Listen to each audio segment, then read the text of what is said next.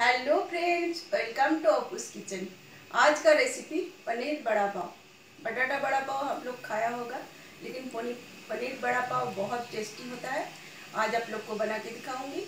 मेरा वीडियो अच्छा लगा तो लाइक शेयर कमेंट कीजिए और सब्सक्राइब करना ना भूलें। पनीर बड़ा पाव के लिए पनीर लिया पचास ग्राम, एक बॉयल पोटैटो मैश करके रखा। एक बाटी बेसन लिया, हल्दी पाउडर एक चम्मच, गरम मसाला एक चम्मच मिर्ची पाउडर एक चम्मच, स्वाद अनुसार नमक और अक्खा धनिया को ऐसे क्रश करके रखा। एक अनियन बारीक चॉप करके रखा। दो ग्रीन चिली बारीक चॉप करके रखा और हरे धनिया एक चम्मच लिया। दो पाव लिया, ऑयल लिया, थोड़ा सा पानी। गैस ऑन करके एक पैन गरम करने के लिए रख दिया। पैन गरम हो गया। एक चम्मच ऑयल ऐड किया। और अच्छी तरह से स्प्रेड कर लेती हूँ। और जो अक्खा धनिया लिया, वो पहले ऐड किया। और कंदा, बारीक कट के रखा था, हरे मिर्ची, ये सब ऐड करके पहले अच्छी तरह से फ्राई कर लूँगी। लो फ्लेम में मसाला को पहले फ्राई कर लेती हूँ।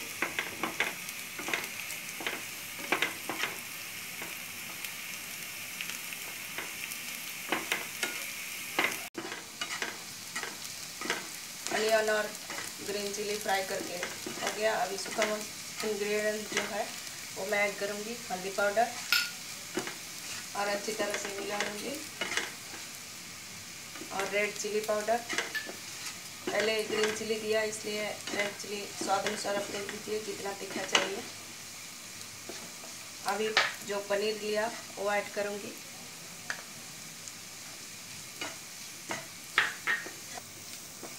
पनीर को अच्छी तरह से मसाला के साथ मिला के हो गया।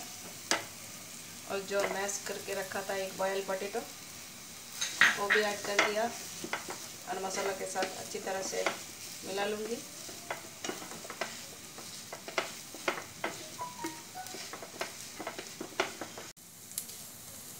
स्वाद अनुसार नमक और गरम मसाला पाउडर लास्ट में ऐड करके अच्छी तरह से मिक्स कर लेती हूँ।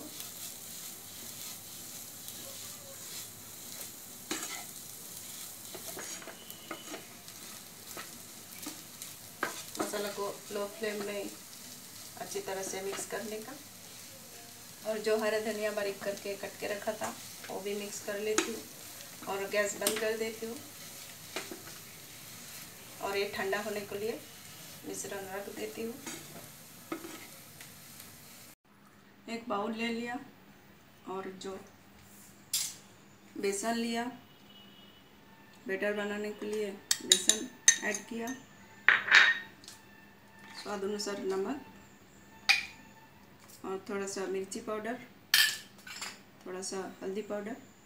पहले सूखा इंग्रेडिएंट्स अच्छी तरह से मिक्स करके एक बेटर तैयार कर लूँगी। सूखा इंग्रेडिएंट्स अच्छी तरह से मिला के हो गया। अभी थोड़ा थोड़ा पानी ऐड करूँगी और बेटर तैयार करूँगी बड़ा के लिए। जब तक मिश्रण ठंडा होता है, तब तक मैं बेटर तैयार कर लेती हूँ। बेटर बना के रेडी कर लिया। ऐसे थिकनेस होगा। मिश्रण ठंडा हो गया। अभी बस तैयार कर लूँगी।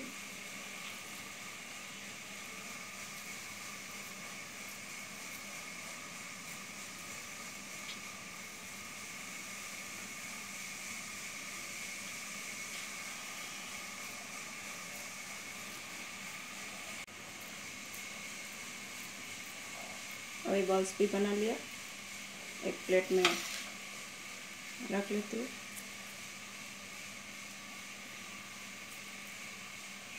अगले प्रोसेस में जाऊँगी। ऑयल गर्म होने के लिए रख दिया। ऑयल गर्म हो गया। अभी बेटर में डिप करूँगी और फ्राई कर लूँगी।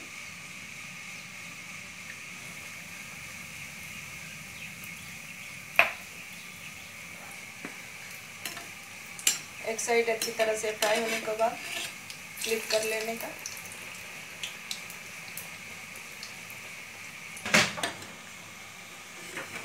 दोनों साइड अच्छी तरह से फ्राई करके हो गया। एक प्लेट में निकल लेती हूँ। सेम प्रोसेस में बाकी बड़ा तल के रेडी कर लेती हूँ।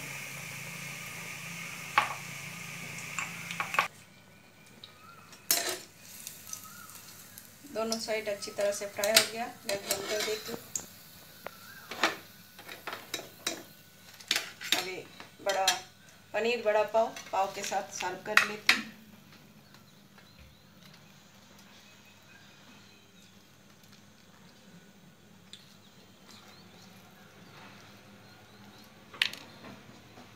पनीर, बड़ा पाव बन के रेडी हो गया।